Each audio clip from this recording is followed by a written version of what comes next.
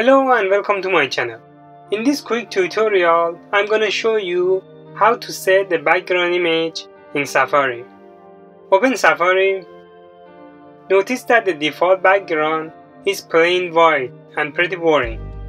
To set the background image, click on the customize icon at the bottom right of the Safari window.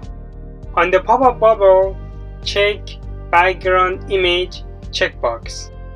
Now choose from the provided images or to select your own image, click on the plus button, browse to find your image, click on it to select and then click choose.